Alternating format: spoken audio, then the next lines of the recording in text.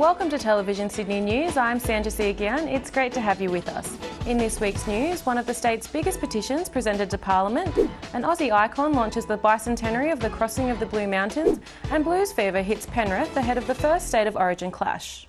But first, police have seized $1.6 million worth of drugs in raids across Sydney's southwest. A 28 year old man faced court on Wednesday on 11 drug and traffic charges after police allegedly seized ice from him with an estimated street value of $1 million. A 28 year old woman, alleged by police to be the man's supplier, faced court on Thursday. Police seized nearly $600,000 worth of ice, heroin, ecstasy, and steroids after raids on properties at Ashfield, Cabramatta, and Cabramatta West. They also discovered cash, a replica pistol, and drug making equipment. Police have described the assault of a mentally disabled man at a Western Sydney train station as a cowardly act. The 36 year old victim was followed from Central to Burwood Station on April 25 when he was grabbed around the neck and his head was repeatedly rammed into a wall before being punched and kicked while he lay on the ground. Police have released security images of a man they wish to speak with in relation to the attack. Homicide Squad detectives have released security footage of a man who may be able to assist with their inquiries into the murder of 15 year old Hayden Burns. Hayden was stabbed repeatedly in his father's motorcycle repair shop in Minchinbury last December. The man is described as being of Caucasian appearance, around 170 centimetres tall, and with a medium build. The families of two people killed on the Hume Highway early this year are calling on the state government to revise major road laws. Family, friends, and supporters of 23 year old Sarah Fraser from the Blue Mountains and 40 year old tow truck driver Jeff Clark, who were both killed by a truck after Sarah's car broke down, presented a petition to Acting Premier Andrew Stoner containing 23,000 signatures on Tuesday. Indeed, the 23,000, 1,000 for every year of my daughter's life. The petition calls for standard breakdown lanes on major roads and new laws requiring drivers to slow down and move over when they see flashing emergency lights. It's no longer morally acceptable to sacrifice people's safety by placing them in harm's way for an extra lane of pavement. Mr Stoner says the issue will now be debated in Parliament. And of course, our government um, introduced new parliamentary rules that require a proper debate of every petition containing over 10,000 signatures. So that debate uh, will happen uh, fairly shortly in the coming uh, sitting weeks of this Parliament. Also supporting their campaign are more than 40 state and federal MPs, ambulance workers, the Fire Brigade, Employees Union, and the New South Wales Police Association. It's an issue for us because it's our workplace. Every time we see a traffic accident, tow truck operators, paramedics, firefighters, and police are at work. Uh, it's really a question of our safety and therefore community safety as well. Commuters, environmentalists, and business people have slammed a decision by the federal government to fund motorway upgrades over the Northwest Rail Link. More than $200 million was included in the federal budget to plan for motorway upgrades.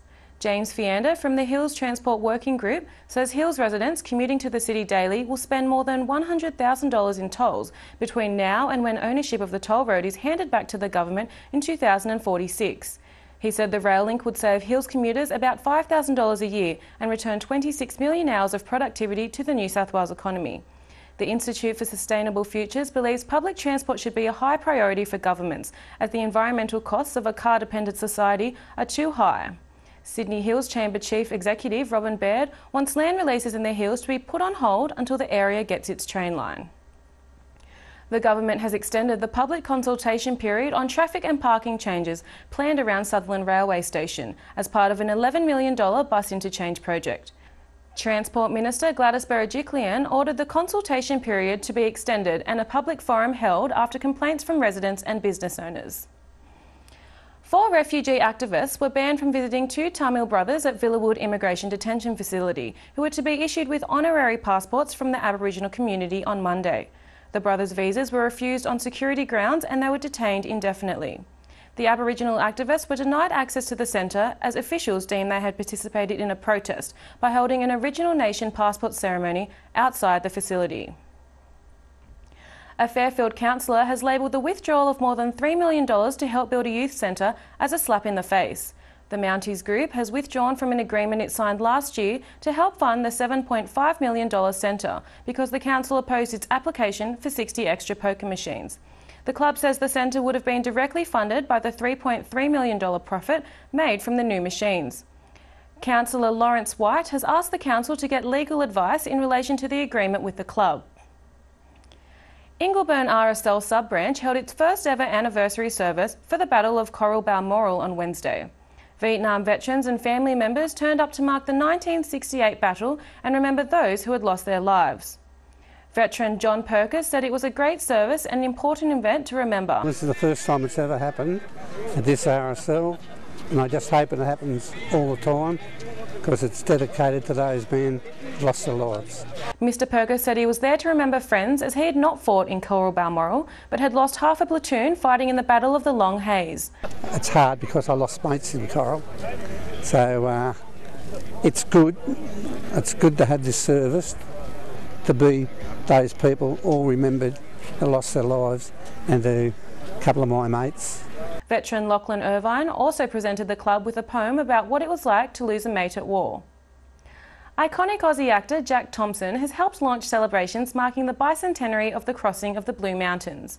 Mr. Thompson and members of the St Mary's and District Historical Society dressed in period costume for the launch at Penrith to draw attention to the celebrations due to start next year. A series of events is planned for towns spread across the Blue Mountains to commemorate Blaxland, Wentworth and Lawson's historic trek in 1813. The crossing of the Blue Mountains was very important in the history of New South Wales. Crossing of the Blue Mountains opened the gateway to the west. Um, it opened much grazing land, horticulture and agricultural wise. The, the significance of that is because of the growing colony in New South Wales, they couldn't produce enough food to survive. Descendants of the original explorers also joined in the launch, including Wendy Blaxland, the great great great great granddaughter of Gregory Blaxland. I think it's really interesting to remember that if you're talking about great great great great grandfather, there are 72 people at that particular level back there who created you. And only one maybe has a famous name, but everyone is as important. And I think, for instance, the convicts who went with Blaxland, Wentworth, and Lawson are just as important to the success of it, and yet we only know the name at present of one of them. And in sport, the New South Wales State of Origin team hosted a skills clinic for juniors from the Blacktown City and Minchinbury Junior Rugby League sides on Monday.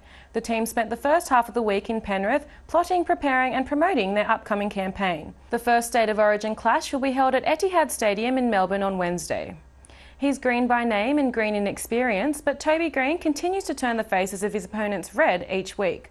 After five games, the Greater Western Sydney Giants recruit is ranked first for handballs, first in total disposals, and in kicks a game. His game against Carlton in round five was his most impressive performance yet, notching up 28 disposals, 16 kicks, and 9 marks. Greene says he doesn't want to leave Sydney when his contract expires in 2013. Josh Elston recently won gold in the 50 metre freestyle, backstroke and butterfly and silver in the 50 metre breaststroke at the Special Olympics State Swimming Championships. Elston, who has Down syndrome, beat a health battle last year to get back in the pool to achieve his medal haul. And he also competes in athletics, soccer and basketball, but swimming is his forte, and the difficult butterfly is his favourite stroke. David Varankovic is hoping to get snapped up by the A-League competition. The Westfield Sports High student is a goalie for Bonnyrigg, but that didn't stop him from scoring a goal in his side's 3 1 win against Blacktown. His short term goal is to continue playing well for Bonnyrigg, starting in Saturday night's local derby against Marconi, who are coming off a 3 1 loss to Sutherland. Long term, he says, his main goal is playing in the A League. And the world's smallest man was carried into Granville by backpack this week to meet children at Blaxcell Street Public School. Chandra Bahadur Dangi from Nepal is 54.6 centimetres tall. He was brought to Australia by radio duo Fitzy and Whipper. Dangi fielded a number of questions from the children with the help of a translator. And that's all the news we have time for. For more information on any of these stories, pick up your local Fairfax newspaper. I'm Sandra Siagian, and we'll see you next time.